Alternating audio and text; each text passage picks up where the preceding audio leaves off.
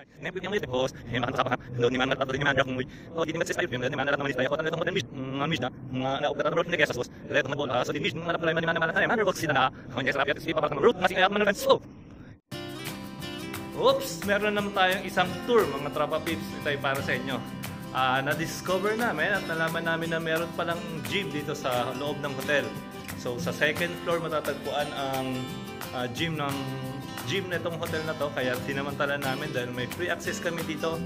Yung card namin, ito-tap lang namin doon, makakapasok na kami. So, ito yung mga equipment. Yan. Yan, yan. May mga dumbbell. Yan, may pang sit up, may treadmill. Sulitin natin habang nandito tayo. So, sayang yung pagkakataon na, na nandito tayo at keep fit. Tanggalin natin yung mga bil-bil-bil-bil yan, mga bil-bil-bil-bil sa tiyan. At sana magkaroon tayo ng konting bukol sa mga, sa braso. Payat eh, no? Yan. So, isa rin tong magandang pagkakataon pala para may ipakita at may review natin ang ating sapatos na ipinakita ko nung previous vlog ko. Yung nakabox doon sa may kwarto, papakita natin sa inyo ngayon. Itrinay ko siya ngayong suotin. Tapos, ah, i-feel kung ano yung ah, fitting nitong sapatos na to. Yun nga pala yung Anta shoes ni Clay Thompson, isa sa mga ah, nilabas ni Clay Thompson na Anta shoes. So, check natin. Tatanggalin ko doon para makita natin in detail ang tsura ng sapatos. Dito lang din tayo sa loob ng gym. Habang walang katao-tao. Solo ko ngayon yung gym. Yan. Samahan niyo muna ako habang nagre-review. Kaya tara let's!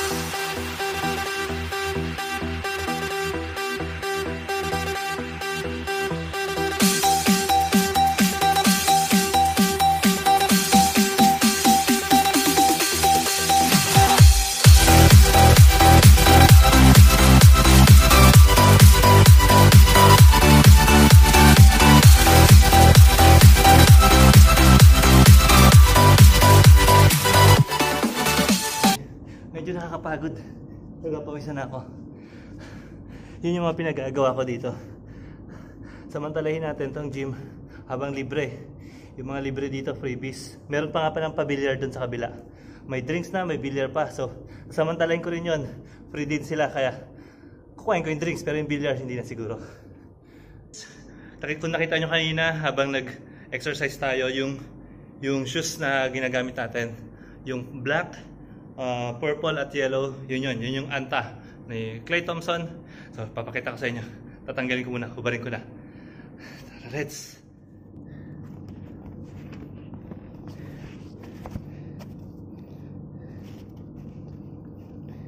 Hindi na ako nagkaroon ng unboxing. So, ipapakita ko na lang sa inyo ngayon. Nahubad ko na. Diretso na unbox. Diretso na tanggal sa box. Kaya, let's go! Isa sa mga nirelease na sapatos ng Anta is yung A-Shock na Anta Shock which is kulay purple, black, and yellow.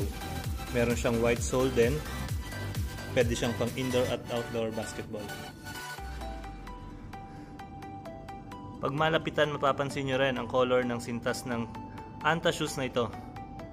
Combination ng black and yellow na merong purple sa gitna and green. Pagdating sa likod at sa ilalim ng sapatos, nandun yung logo ng Anta. Tapos yung A-Shock logo, A-Shock 45 at ang rubber na nasa likod, rubber design.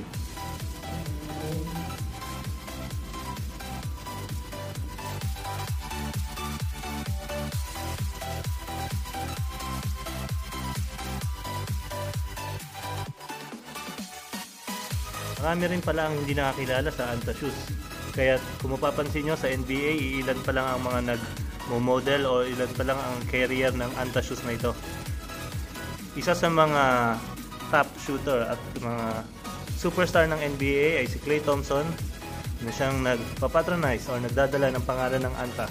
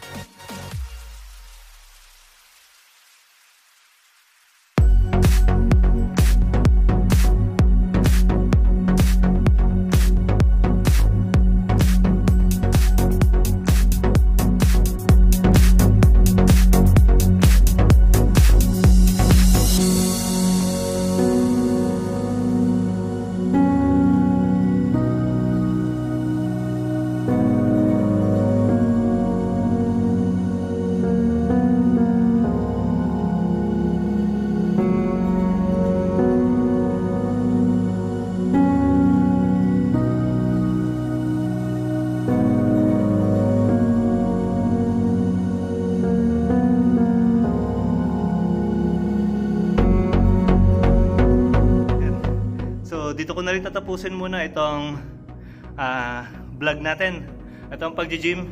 Tapos, siya nga pala bukas, tamang-tama, off day ko, samahan niyo ako. Susubukan ko kayong mag-explore. Susubukan kong lumabas. Tignan natin kung hanggang saan ako makakaabot. Samahan niyo ako para hindi ako maligaw. Nakakalito talaga dito. Pero, kakayanin natin to. Basta sama-sama tayo. nag enjoy tayo sa ginagawa natin. Let's do this! Let's do this!